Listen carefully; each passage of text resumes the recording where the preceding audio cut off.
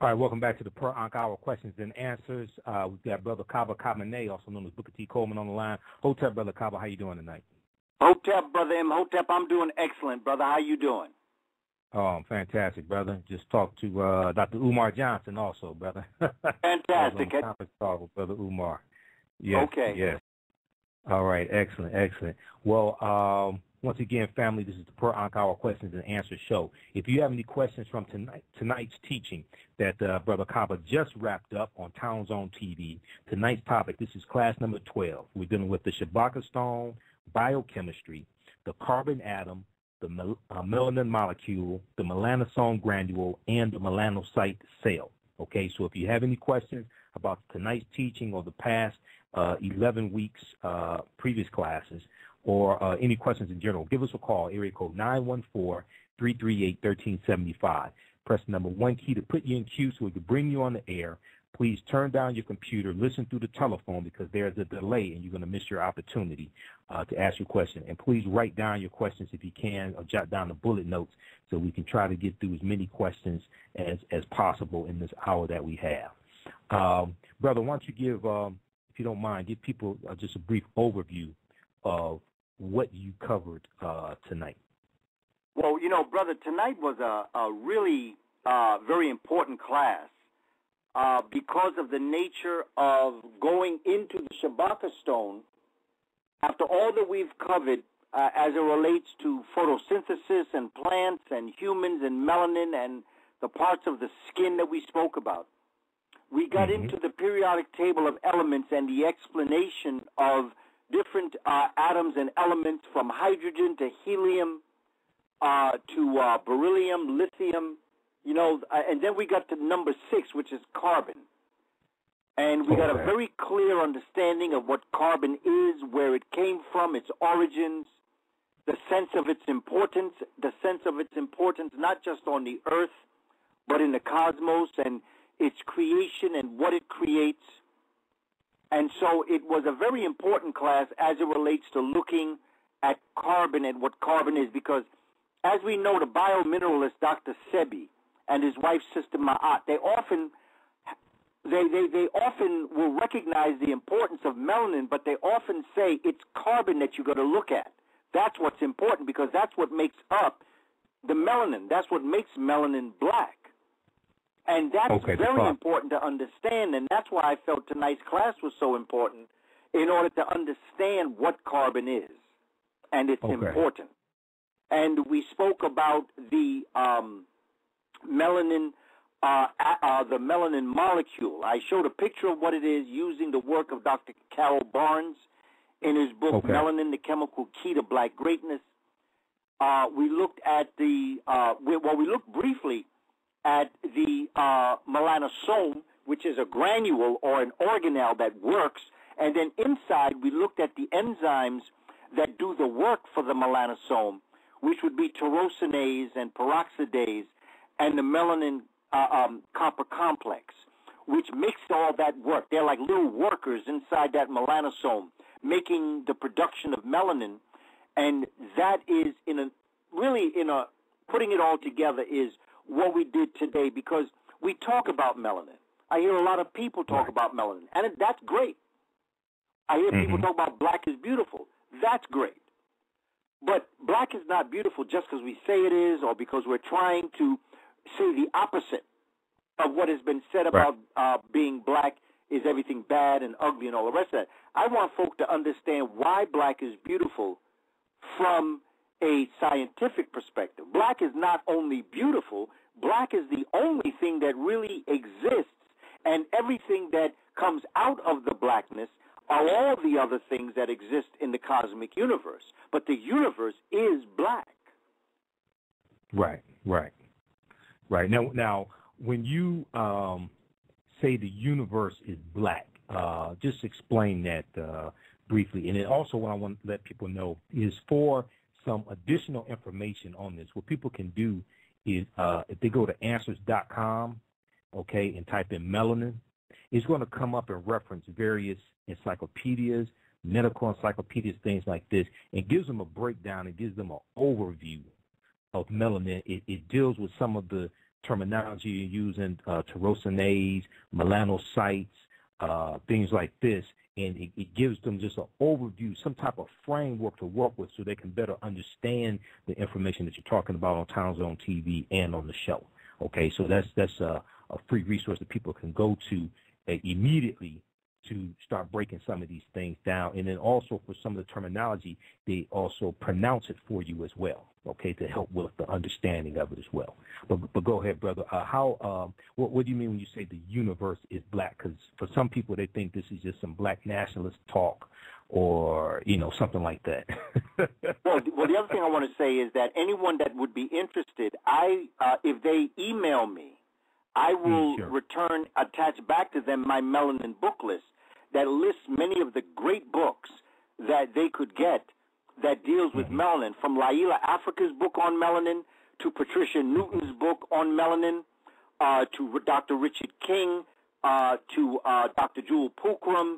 Uh, I mean, you can go down the line, Carol Barnes, all of these different books. There are books out there that can be read.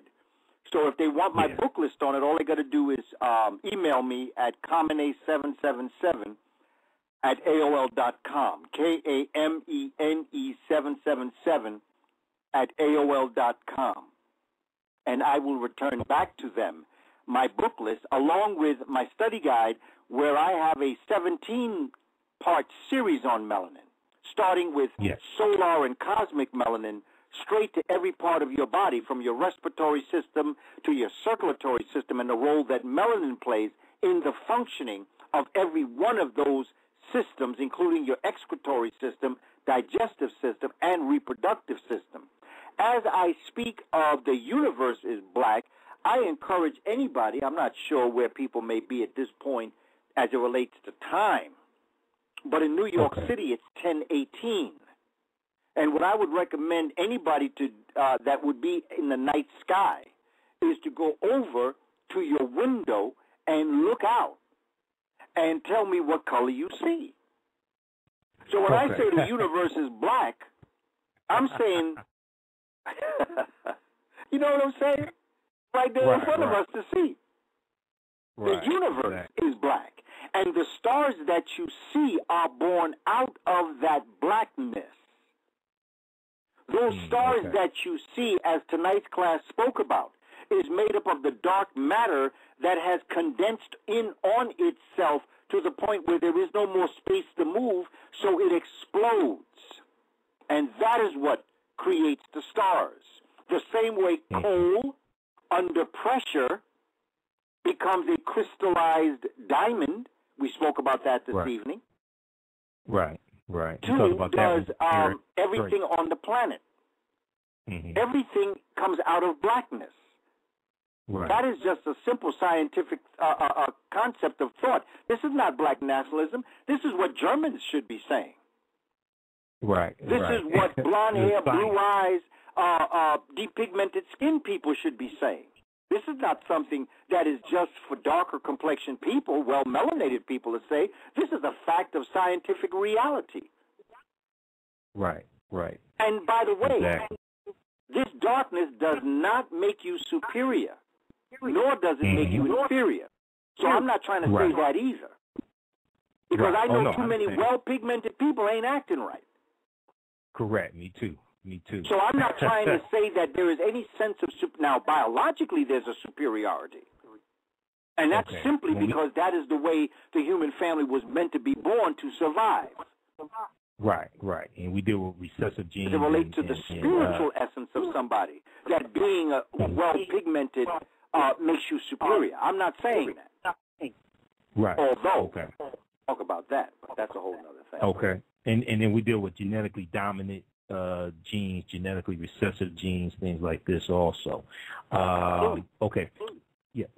Yep. Okay. We'll, we'll, we'll go to the phone lines in just a minute. We'll be going to the 864 first. If you have a question or comment, give us a call, 914 338 1375. 914-338-1375. Press the number one key to put you in queue so we could bring you on the air. Please write down your questions if you can so we can get through these expeditiously. Also, be, uh, when you're on the phone, listen to the phone and not the computer. Turn the computer down because there's a delay and you, uh, you, you're going to miss us coming to you. All right. Uh, now, now, brother Kaba, when um, when you talked about uh, Imhotep in the step pyramid of Saqqara, and you talked about the Pythagorean theorem, a squared plus b squared equals c squared, and I've heard you talk about this before about uh, Pythagoras or Pythagoras, I think is how you pronounced it. Uh, you were saying that uh, I remember when you were here in 2010 for the convocation of the African village. You, you were saying that Pythagoras was actually pronounced Pythagoras. Is that correct, or something like that? Pythagoras, yes, absolutely. Pythagoras. Now, is that in relation to Ptah, the the the the the, the netter the netter Ptah? Yes, absolutely. Because basically, uh, Ptah is is the creator force. Ptah is the um, creator of creators. He is the one at the potter's wheel. He is the uh, the the hill that comes up out of the up out of the water. He is the blacksmith, the creator of things, and all of the things that um, this individual came, he corrected his name. His it's Ptah. The pi comes out of the concepts of you know the mathematical concepts of of of Yeah. a squared plus squared equals c squared. But but basically, you know, you're dealing with a man who changed his name to Pata Gora. Okay, Pythagoras. Now, And, and they did it constantly like that. Uh, what do you mean? Did what constantly like that? They took everything we had. They took our names. Oh, yeah, they, absolutely. you know, I mean, they just took everything. Absolutely, absolutely. Now, when when when you say that, um, uh, now now was Pythagoras a real person?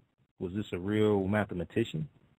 From what we know, Um, you know something? I would be very uh, careful. Uh, I would, for this moment, say that it is very possible that he did exist. His name might not have been what it is. Uh, he may not have been. He could have been an African that, you know, that Europeans, you know, just took and made him into, just like they did Beethoven. I mean, they made him into a European, although he was a black Correct. man. You, you know, I mean, so I mean, it, it's it's not beyond them to take black folk and make them into their own heroes and sheroes. So, but I want to be careful Right. because honestly, I don't know, and and I don't know if anybody else knows either. yeah, they did that. but I do know Ranger. that the name was not Pythagoras. That I know. right. And, and that goes into the writings of the ancient philosophers. Uh, if you're dealing with Iamblichus, you can look at Iamblichus's work. Uh, you can look at work like um, like Egypt versus Greece, edited by uh, Dr. Molefi Asante. Uh, you can Mhm. look at uh, William Leo Hansberry's work, um, Africa and Africans as seen by the ancient Greek and Roman writers. And you can see, uh, you can uh, go back uh, and and look at Black Athena. They, you know, um, uh, Martin Bernal talks about it. So that I mean, there are books out here that you can get and you can read and see uh, Okay. that they have done a number of different things that are not that are just not um, true. they they, Okay. they tell untruths. They steal people's uh, invent. Like today, I was looking at a piece and they, and you know, uh, they were talking about um, uh, storm chasers, right? Because of the Okay. unfortunate incident that occurred in Oklahoma City on Monday. Correct. And so I saw a man on TV that wrote a book uh, entitled Storm Kings, where he's talking about the early um, uh, uh, tornado chasers, right? Mhm. And he's talking about Ben Franklin was the first storm chaser. Okay.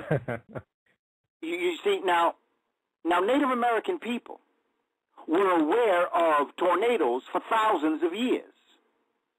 right. And they said that Ben Franklin was the first storm chaser because he chased it on a horse. But what the man didn't say was that Benjamin Franklin was the uh, secretary for Indian Affairs. And that most of his inventions had already been done. Kite flying was a, a practice by Native American for uh, hundreds, if not a thousand years. Yet all of a sudden, he's given credit with sending a kite up into the heavens and creating electricity. Right. Right. right. Exactly. In the first- Exactly. Thousands of years, indigenous people are here. Ain't nobody decided to chase the tornado. Ben Franklin is the first person to choose to chase. Now, this man sounded very educated. This man presented hmm. himself with dignity, finesse, and some type of in, intellectual abilities. But the man Right. is stone cold ignorant. Right. And that's the problem because listening to this man, you would walk away believing, yeah, Ben Franklin did that. But if you didn't know that he was the uh, uh, Secretary for Indian Affairs, if you didn't know he was the Secretary of the Patent Office, you would not realize he stole indigenous people's inventions and put his name on them. That's like Aristotle when when Aristotle gains access to the libraries in ancient Kemet because of uh, Alexander the Greek. Next thing you know, Aristotle was the author of about a thousand books and manuscripts on all different subjects. and you know, you see, here's what you got to do when you study these folk, because okay, because he gives credit. He gives credit to Plato for being his teacher. Who Aristotle? Okay. Aristotle gives credit to Plato for being his teacher of all Okay. things good and wise. Okay. But Plato is known as a philosopher. Aristotle Mhm. was known as a scientist. So how is your Mhm. master teacher going to teach you a science that he is into philosophy? So, okay, say that again. You said how how is it that your master teacher is going to do what again? It's like going it's like going for your PhD in philosophy and your Mhm. teachers teach you so when you graduate you be you get your PhD in science. Right. Plato right. was a philosopher, he wasn't a scientist. Mhm. Aristotle is known as a scientist.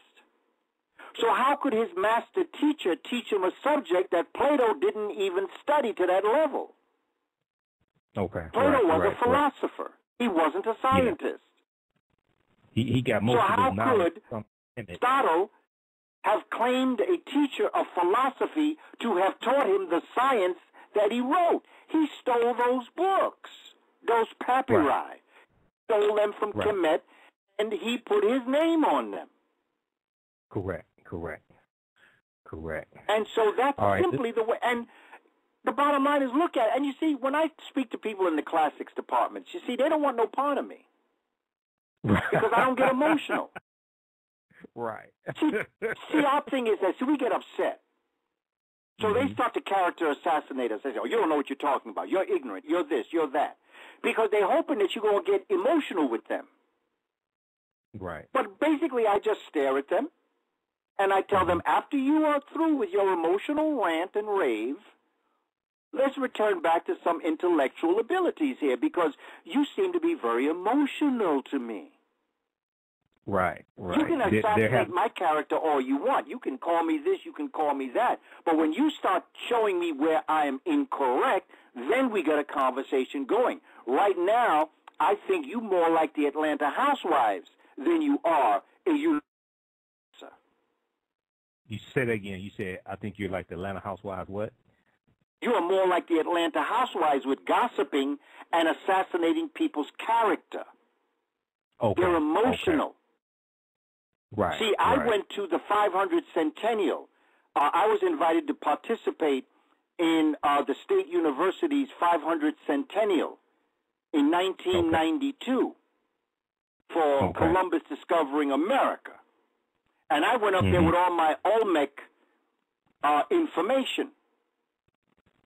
Okay? And when they started talking about all this great stuff that Columbus and all this other stuff and blase, blase, I brought out my material. You know, they asked me to leave. They They wanted me to leave. see, see what happens the bottom brother- line was is I wouldn't get emotional with them. I brought out my mm. material. I had books. I had been to Mexico and studied with Dr. Van Sertima in, in the summer of 1984.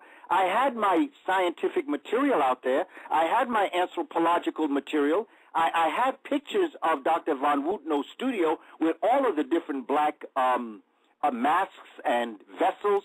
60,000 Right. artifacts he has from Africa found in Mexico, along with ankhs and other symbols. Mhm.